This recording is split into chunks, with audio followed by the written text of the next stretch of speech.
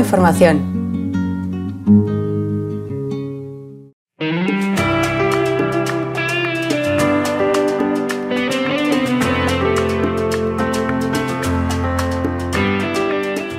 Estamos en la sede del ICAP, del Instituto Cubano de Amistad con los Pueblos, que ha cedido a Cuba Información este salón para entrevistar, para conversar con una colega de profesión, para conversar con Cristina Escobar. Hola, Cristina. Hola. Bueno, Cristina Escobar, periodista de la televisión cubana, con una intensa y extensa ya carrera profesional, a pesar de su juventud. Eh, actualmente trabaja para el noticiero de la televisión cubana, tiene un programa eh, semanal en la televisión cubana una vez a la semana y hace un espacio también en Telesur, en su sección en inglés. También trabajó anteriormente en la mesa redonda, eh, ya digo, del, del canal de la televisión cubana. Cristina, eh, has dicho, bueno, en una entrevista que leía recientemente, bueno, hablaba sobre la responsabilidad del periodismo cubano en estos tiempos de, cambio que estas transformaciones necesarias que se están haciendo y que se harán más en el futuro, eh, digamos, no son un deseo solamente de los profesionales, ni siquiera un capricho, sino que eh, se juega, tú decías, la propia credibilidad de la Revolución cubana. Una verdadera responsabilidad histórica, ¿no? Indiscutiblemente, sí. Ah, hubo un, hace poco tiempo hubo un congreso de la Unión de Periodistas de Cuba, que es la organización que agrupa a los periodistas en este país, donde se hicieron críticas muy profundas eh, y análisis y reflexiones sobre los problemas de la prensa. A raíz de muchas cosas, a raíz de, la crítica de, nuestro, de nuestro propio pueblo y de peticiones concretas de la dirección del país para eh, que la prensa reflejara más los problemas que están aquejando al país. Es decir, independientemente de que los medios en Cuba tienen, eh, responden al Partido Comunista de Cuba, al Comité Central del Partido Comunista de Cuba, hay una petición concreta de la dirección del país de que esta prensa se parezca más a la vida de la gente en Cuba, es decir, a los problemas que tiene la gente, de manera tal que hay que incrementar los niveles de responsabilidad que se le exigen a las instituciones del Estado e incluso a las que no son del Estado, a las instituciones privadas también, para eh, responder a las necesidades informativas, a las necesidades en sentido general de la prensa. Es decir, que se acerque más nuestra prensa al objetivo de servicio público que debería tener. Es decir, que tiene hasta cierto punto, pero que todavía le falta. Entonces hay un proceso en ese sentido. ¿Y por qué yo digo, y es una frase importante, eh, nosotros tenemos, es decir, los medios son la reproducción, es decir, son la construcción de un mensaje ideológico político determinado. En este caso nosotros somos, pertenecemos al Estado, pertenecemos al Comité Central del partido, es decir, tenemos un, nivel de subordinación en este sentido y estamos llamados a mejorar en términos estéticos, en términos de contenido, en términos de profundidad y en términos de acercarnos a nuestras audiencias. ¿Por qué? Porque si nuestras audiencias no encuentran en nosotros, en los medios, eh, no encuentran la información que necesitan, no encuentran eh, la solución a problemas que pueden tener y que los medios pueden darle a través de, ofrecerles determinados usos y gratificaciones en los mensajes que están dando. Si las personas buscan medios alternativos de información, que en algunos casos son medios en contra de los intereses del pueblo cubano, son medios que están subordinados a intereses, por lo general, que están eh, intereses contrarrevolucionarios, es decir, contra el gobierno de Cuba, pues nosotros estaríamos perdiendo eh, nuestro nicho esencial, nuestro objetivo esencial, que es precisamente informar y empoderar al pueblo cubano. Es decir, la revolución cubana no es solamente un proyecto que triunfó en 1959, sino es un proyecto continuado que dura hoy de empoderamiento, de educar, de lograr mayores niveles de conciencia política y niveles de responsabilidad hacia el momento histórico, hacia el país que tú estás viviendo. Es decir, no es vivir por vivir o no es vivir por, eh, por ganarte el dinero que te hace falta para sobrevivir, sino también tener un sentido de la conciencia social de lo que hace falta en el país que tú vives. Y es el, es el primer objetivo de los medios. No son los medios solamente lo que lo hacen, hay otros factores de la sociedad como la educación, como, como otras maneras, pero indiscutiblemente nosotros tenemos un objetivo en ese sentido. Si nosotros perdemos ese nicho, si nosotros perdemos ese nicho, pues entonces estamos perdiendo nuestras audiencias que es nuestro pueblo al final. Entonces nosotros tenemos necesariamente que mejorar nuestros contenidos, acercar nuestros, nuestras problemáticas, es decir, las problemáticas que reflejamos en nuestros contenidos periodísticos, a los problemas de la gente, mejorar, es decir, las personas tienen que sentir una gratificación al consumir los medios cubanos y sentir que se sienten informados con nosotros, aunque no sea exclusivamente con nosotros, que tengan la opción de informarse con quien quieran, pero también que puedan indiscutiblemente confiar en nosotros. Si nosotros somos eh, víctimas o hacedores del secretismo, si nosotros eh, somos superficiales, si nosotros ocultamos, si nosotros hacemos el juego, por ejemplo, a burocracias corruptas contra las que estamos luchando en Cuba, si nosotros hacemos el juego a discursos, a retóricas que están pasadas de tiempo, si nosotros nos mantenemos estancados en cierto sentido, porque por ejemplo, como la televisión, por ejemplo, que es un medio muy caro y desde el punto de vista estético lleva mucha inversión para mejorarla, si nosotros permanecemos en un, eh, eh, en un nivel de estancamiento en términos de estética, en términos de cómo contar eso, en términos de cómo los discursos periodísticos han ido avanzando, es decir, ya no es solo ese emisor receptor que consume pasivamente las cosas, hay redes sociales, hay internet, hay diferentes, hay celulares, hay diferentes maneras de informarse. Si nosotros no hacemos uso de todas estas herramientas que las personas utilizan en Cuba, porque no es que nosotros nos quedamos detenidos en el tiempo, las personas las utilizan. Si nosotros no hacemos uso también de, esa evolución que, que, que, están sucediendo en la comunicación, nosotros nos aislamos de nuestras audiencias, nosotros perdemos a nuestras audiencias y por tanto perdemos nuestro principal objetivo, que es hacer un servicio público en Cuba que transmita el mensaje de la revolución, el mensaje de empoderamiento, el mensaje de libertad que supone la revolución y que supone el proyecto de país que nosotros decidimos basado en la soberanía, basado en nuestros principios basado en decidir lo que nosotros queremos hacer con nuestro país, a pesar de tantas agresiones y indiscutiblemente de tantas dificultades económicas que vivimos en Cuba. Por eso me refería a que se juega la credibilidad de la revolución, porque nosotros somos los que damos la credibilidad. Son, es a través de los medios. Y si los medios no tienen credibilidad, pues indiscutiblemente se ve mellada también la credibilidad, no de los líderes, no de los individuos, pero sí de un proyecto de país. ¿Crees que existe, bueno, existe una, una brecha generacional en el periodismo cubano? Eh, se está haciendo un relevo en cuanto a, bueno, la incorporación de personas más jóvenes al, periodismo en sus diferentes facetas. ¿Cómo está este asunto en Cuba? Efectivamente, hay una brecha generacional. Yo creo que se está venciendo eh, a pasos eh, demasiado rápidos. Porque, bueno, al haber una brecha generacional, nos demoramos tanto que, que la otra generación no está más está en su casa descansando a veces y entonces los jóvenes a veces nos quedamos como que solos. No me pasa a mí, pero le pasa en, otras, en, otro, en otros lenguajes periodísticos, en diarios y eso. Eh, pasó, eh, ahí hay una causa, eh, hubo un tiempo en que, en que no se estudió periodismo como carrera exclusivamente, sino que era una carrera muy pequeña. Recordemos que en Cuba eh, las, carreras no se estudian según cada cualquiera, sino que hay una planificación porque el Estado paga por, por la formación superior de, los jóvenes. Y se estudió, y, entonces hubo muy pocos profesionales de la comunicación en un número de años determinado, y eso tuvo una consecuencia. Y la consecuencia estuvo en que entonces los medios se fueron quedando vacíos. Y profesionales de otros sectores estudiaron, se prepararon para entonces asumir el periodismo eh, como su función, aunque originalmente no era eso lo que habían estudiado.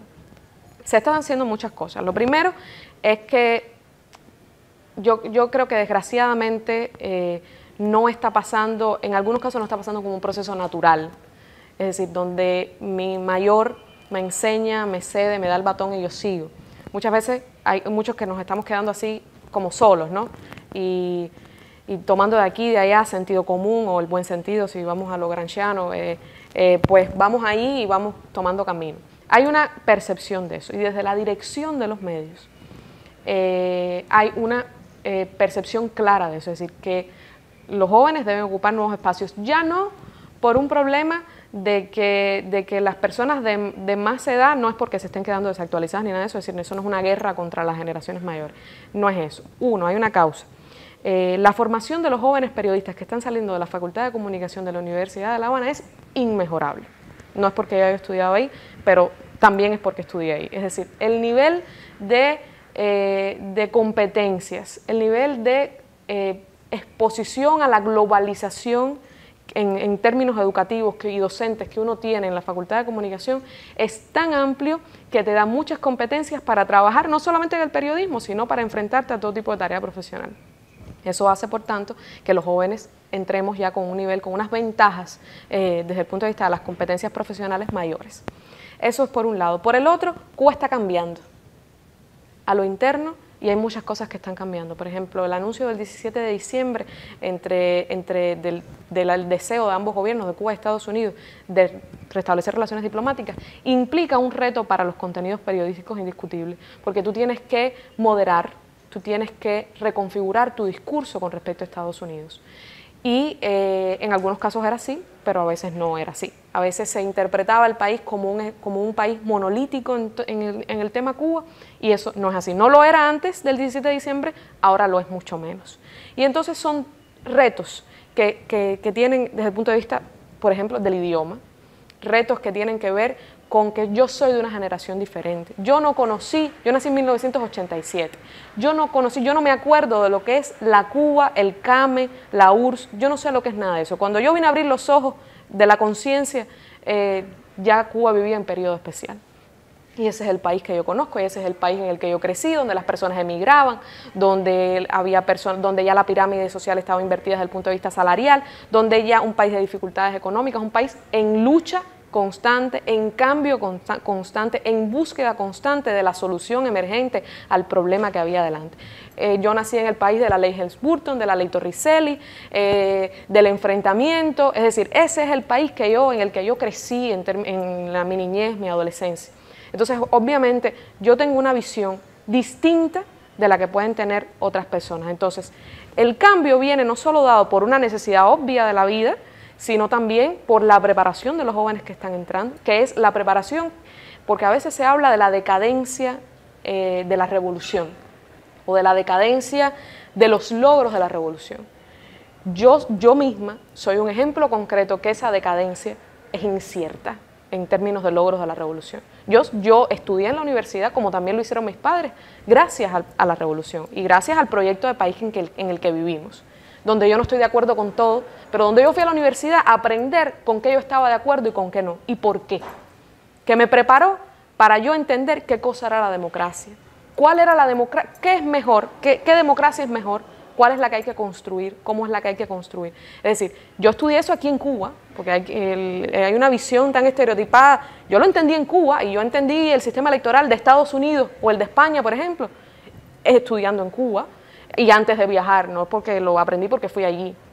Entonces, eh, e, esa generación con conceptos nuevos, con cargas de hostilidad a la reacción, es decir, a reaccionar, porque por ejemplo, yo entrevisté hace poco a una periodista que vivió Girón, el ataque de Girón de los 60. Esa periodista le va a costar mucho más trabajo que a mí, por ejemplo, moderarse en términos de discurso hacia Estados Unidos, lo cual no significa ceder un ápice, pero sí significa comprender cómo funciona ese país en términos de su complejidad y su diversidad con el tema Cuba. Y qué tú tienes delante como oportunidad y qué tienes como agresión. Y qué tú vas a tomar como oportunidad y de qué te vas a defender. Son dos cosas diferentes. Entonces, en ese sentido hay un avance. Ya las redacciones están llenas de personas jóvenes. Eh, por ejemplo, te digo un ejemplo, el periódico Granma es la redacción más joven, es el órgano del Partido Comunista de Cuba, es la redacción más joven de Cuba, llena de personas jóvenes, llenas de ideas. El reto está también que los medios entonces reflejen la juventud de esas generaciones. Y ese es el camino en el que estamos. ¿Y el papel que tienen las, periodistas, mujeres, en, este proceso de transformaciones, en este relevo generacional también? Bueno, eh, si, queda, es decir, en, Cuba como país latino, como país, eh, por supuesto que, el machismo existe.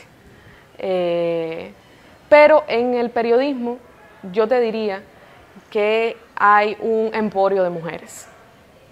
Las mujeres tenemos determinadas habilidades para la comunicación. Eh, por ejemplo, en la televisión, la mayoría de las periodistas estrellas, no estoy hablando de mí, estoy hablando de las estrellas, estrellas, eh, son mujeres.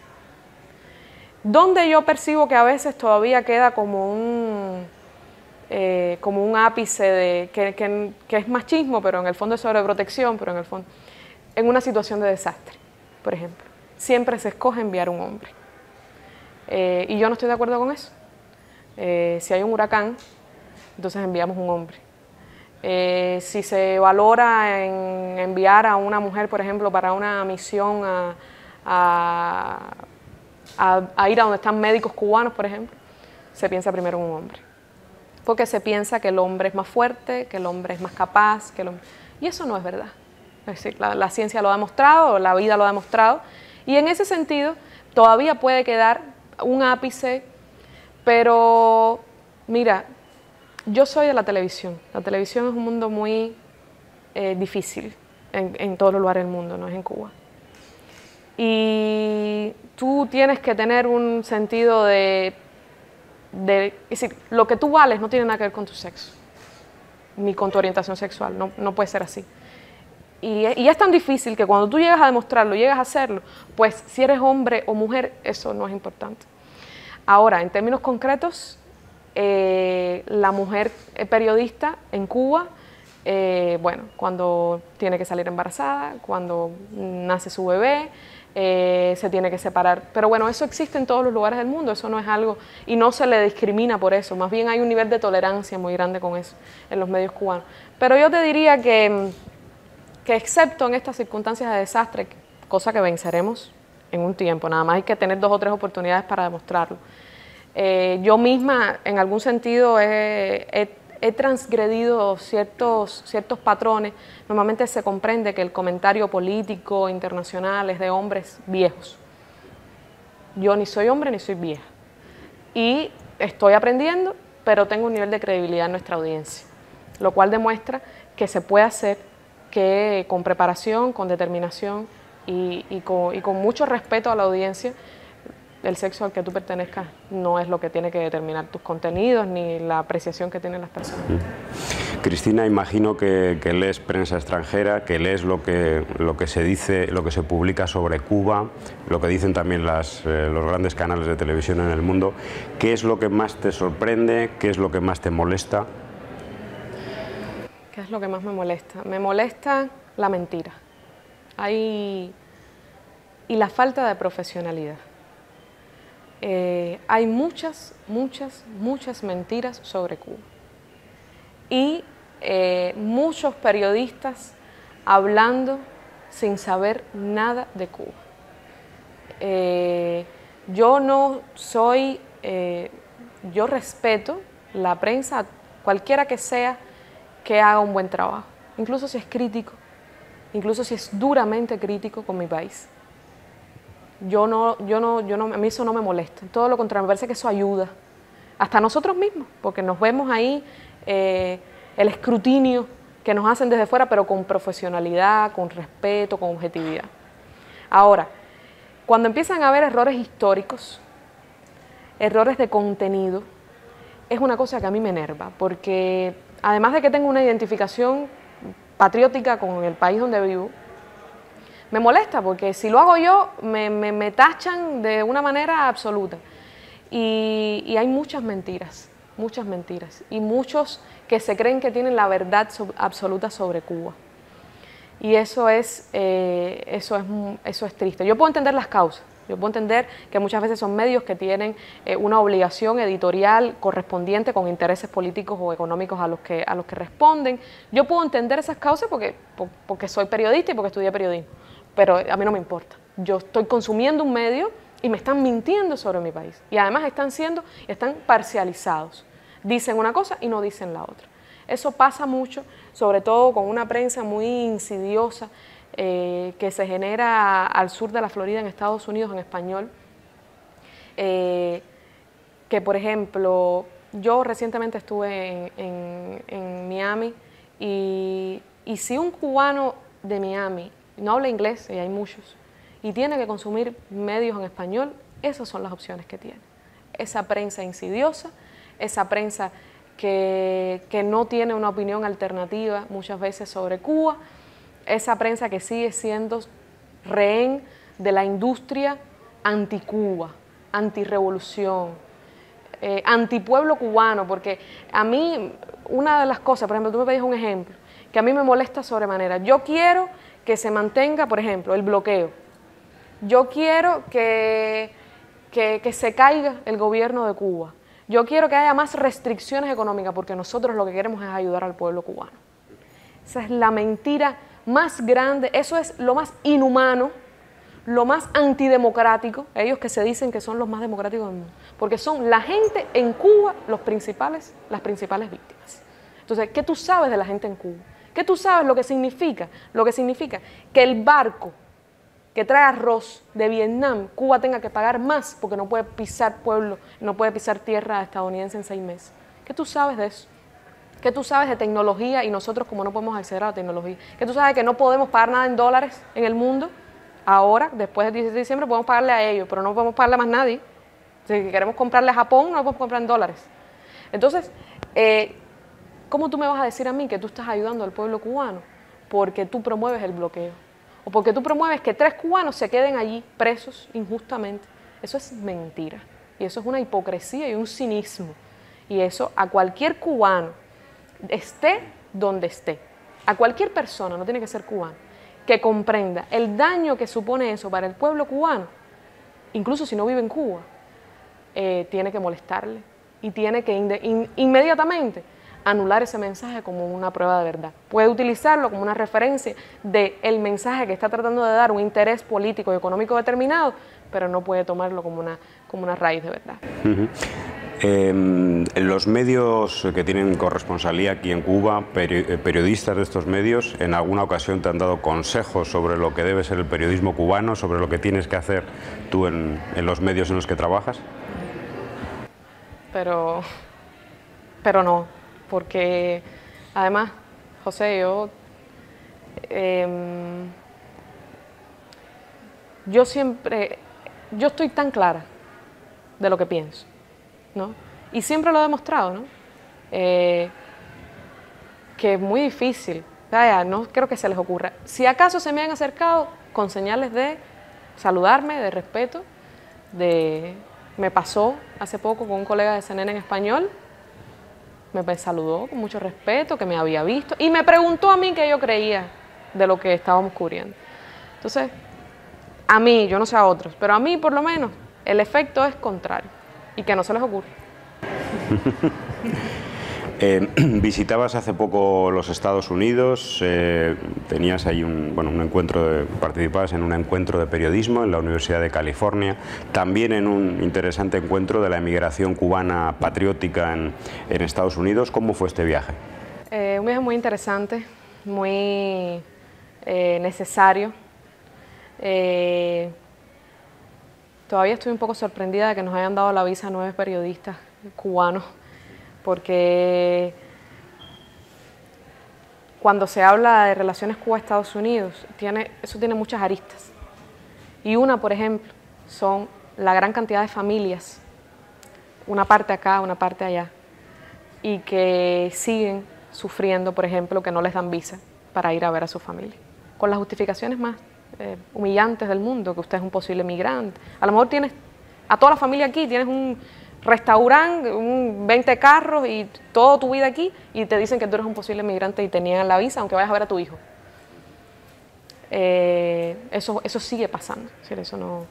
Entonces, em, nos dieron, bueno, fuimos nueve periodistas cubanos a un encuentro al eh, California State University of Fullerton, en Fullerton, una universidad muy interesante. Hay una universidad prácticamente latina, está en el medio de Estados Unidos, pero es una universidad latina, llena, llena de latinos, incluso hay muchos indocumentados. Eh, y es un intento de esta universidad por abrirse caminos de colaboración académica con América Latina y, decidió comenzar por Cuba precisamente. Eh, un ambiente muy propicio porque Los Ángeles, California, es un estado muy latino, pero no es la Florida. Es decir, eh, hay un nivel de tolerancia, de deseos de colaboración, de deseos de aprender. Eh, y para nosotros fue eso precisamente, un aprendizaje de lo, que, de lo que queremos, pero también de lo que no queremos, porque lo vimos ahí. Y es, y es, muy interesante. Además, conversamos y fue parte de, era sobre periodismo ciudadano, el encuentro era sobre periodismo ciudadano y sobre el empoderamiento de las personas con pocos recursos de hacer periodismo. Y conocimos a cubanos y latinos que tenían experiencias de este tipo para periodismo, sobre todo local y eh, cómo muchos se fueron a este giro porque los grandes medios o los medios más enraizados pues los censuraban. Entonces, eh, yo sé que la libertad de expresión no existe, absoluta, mucho menos en Estados Unidos. Pero una cosa es que tú lo sepas y otra cosa es verlo. Y otra cosa es que te lo cuenten personas que fueron víctimas de eso y que se han tenido que ir a otros caminos. Entonces, eh, en la lucha por posicionar un mensaje eh, donde hay millones de mensajes. Entonces, eh, además de esto, yo fui invitada al segundo encuentro de cubanos emigrados en Estados Unidos en Washington, D.C. Un encuentro muy interesante. para mí especialmente fue muy interesante porque es muy...